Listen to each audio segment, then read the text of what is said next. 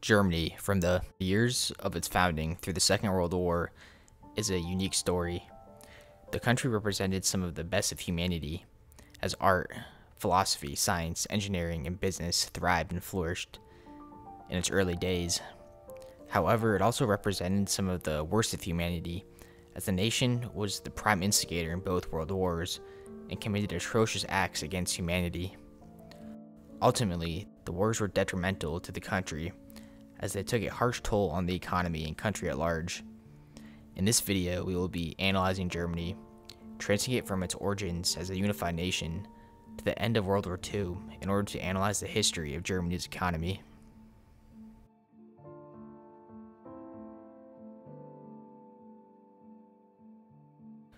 When Germany became a unified nation in 1871, its economy was underdeveloped and lagged behind other large nations such as the United Kingdom, France, and the United States. However, Germany rapidly transformed its economy and soon became one of the world's most advanced economies in less than half a century. One of the main driving forces behind its rapid transformation was the advancement of its scientific and educational institutions. In the 1800s, Germany had one of the highest literacy rates in the world. Furthermore, German scholars transformed the nation's universities into research universities, where they pursued innovation and the discovery of new ideas. Science and engineering thrived at these schools.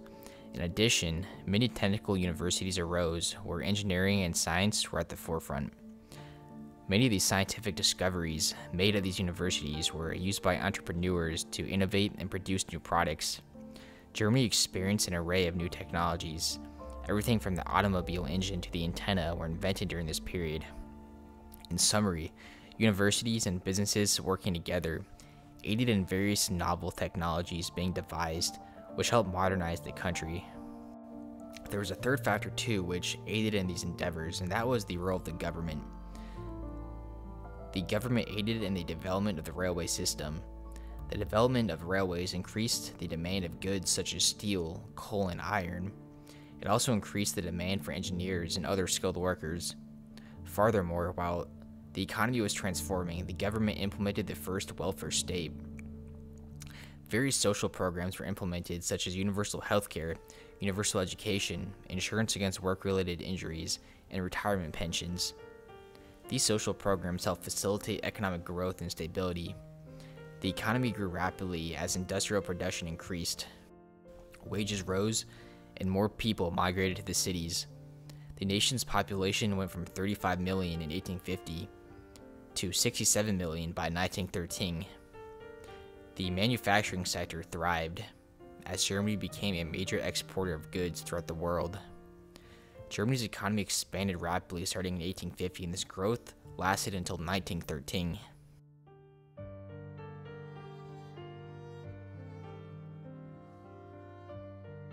Economic growth lasted until 1914, when World War I erupted. The impact the war had on Germany's economy was significant. Its economy shrank, and industrial production declined by 40%. Following the defeat of Germany in 1918, a new form of government was instilled. The Weimar Republic was established, and Germany became a constitutional republic. The initial years following the war were tumultuous the nation amassed huge amounts of debt during the war, as the government merely printed money to fund the war. In addition, Germany had to pay reparation payments to the Allies under the Treaty of Versailles. Under the treaty, Germany had to make reparation payments in either gold or foreign currency. As a result, the German central bank used its currency, the German mark, to purchase foreign currency, which it then used to make the reparation payments. With its own currency rapidly losing value, more and more German marks were needed to purchase foreign currency. This resulted in inflation, which eventually led to hyperinflation. By 1922, 7,400 German marks were equal to 1 US dollar. The mark became practically worthless. In 1923, Germany defaulted on its reparation payments. As a result, France and Belgium occupied the Ruhr Valley in Germany. This was an industrial region of Germany, which contained many factories. The French and Belgians intended to utilize resources made from these factories to make up for the missed reparation payments. Much conflict arose as German workers refused to cooperate with the French and Belgian forces. With the backing of the German government, German factory workers went on strike. In order to pay the striking factory workers, the government printed more and more money, and this farther worsened inflation. Newly elected German Chancellor Gustav Stresemann pursued a policy of fulfillment, and that he wanted to improve international relations by adhering to the Treaty of Versailles and paying the reparation payments. Once relations were improved, he intended to negotiate the treaty to achieve better conditions for Germany.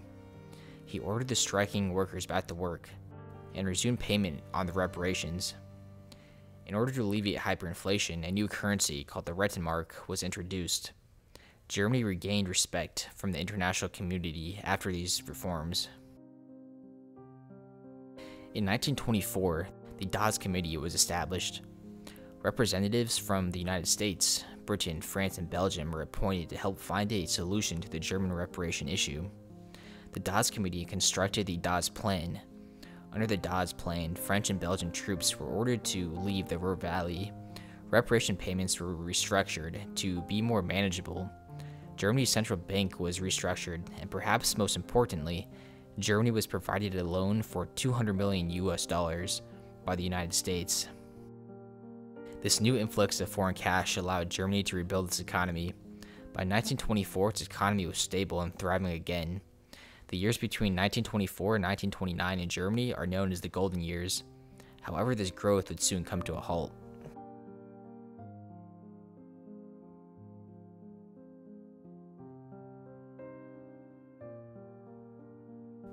In October 1929, the United States stock market crashed, triggering the Great Depression. The United States recalled all their foreign loans and ceased sending new loans to foreign countries. Germany had spent the last five years using loans from the United States to rebuild and expand its economy. With these loans now gone, this triggered an economic crisis. In the summer of 1931, the country faced a banking crisis after one of its largest banks, Deutsche Bank, collapsed. In addition, 6 million citizens were unemployed by 1932. Discontent with the Weimar government's handling of the economic crisis, the Nationalist Socialist Party increased in popularity as they promised to restore Germany to its former glory and resolve the economic issues at hand. Adolf Hitler was appointed Chancellor of Germany in 1933. By that time, the unemployment rate was 30%. Tackling unemployment was the Nazi government's first priority, the government implemented deficit spending in order to finance massive infrastructure projects, such as the construction of the Autobahn, in order to stimulate economic activity and increase employment. These measures were largely successful, as unemployment dropped down to near zero by 1938. These projects were financed through deficit spending, as the Nazis believed they would pay off their debts once they invaded and plundered other nations' resources.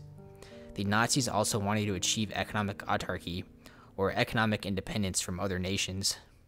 They learned from World War I that they must be economically self sufficient in order to wage a successful war. They promoted self sufficiency and wanted to be completely self reliant on creating their own goods. Therefore, tariffs were placed on foreign imports. Foreign trade was reduced, however, some foreign trade took place with nations mainly in Southern Europe. As Germany still needed raw materials in which they imported from these nations, the main economic goal of the Nazi government was to rearm its military and prepare for the war. Increasing amounts of government spending and industrial production went to rearming the military. In August 1936, Hitler issued a memorandum calling for the mobilization of the economy in order to be ready for a war within four years. Throughout the war, rationing was implemented across the country half of manufactured consumer goods were used for the military. Despite numerous mobilizations of the workforce, Germany faced labor shortages throughout the war. After the invasion of Poland, Germany used war prisoners as slave laborers to compensate for its labor shortage. Many leading German corporations utilized slave labor as well. By 1944, estimates showed that a quarter of the German workforce was comprised of slave laborers. Women were called upon to work in the factories, as well, and by 1944, they outnumbered men in the labor force. By 1943, Germany's economy transitioned into an all out war economy, and by 1944, the majority of economic resources were used for military production. In the midst of a two front war, Germany's fate was sealed for defeat as its industrial and military capacity could not keep up with the Allies. Germany suffered tremendous damage throughout the war. Allied forces dropped 2 million tons of bombs on German cities, which resulted in the destruction of over 60 cities and the death of 600,000 German citizens. The war destroyed 4.8 million houses, resulting in 13 million homeless individuals. At the conclusion of the war, much of the country lay in ruins, and Germany was faced with rebuilding itself both literally, due to the destruction, and figuratively, as self society and government institutions had to be rebuilt as well. All in all, the story of Germany from its origins as a unified nation to the end of the Second World War is a mixed bag. The country had the potential to be one of the most prosperous and advanced economies in the world during the early 20th century, as it was at the forefront of science, innovation, higher education, and political progressivism. However, the wars derailed the economy, political institutions, and overall livelihood of its citizens. This period of time was not just a pivotal era in Germany's history, but a pivotal era in world history. Overall, the lessons and events that occurred during this period of time are still heavily studied and debated to this day, as this was a critical juncture in human history. Thanks for watching. If you enjoyed this content, consider subscribing. Let me know in the comments what other topics you want me to cover in future videos. Thank you and have a great day.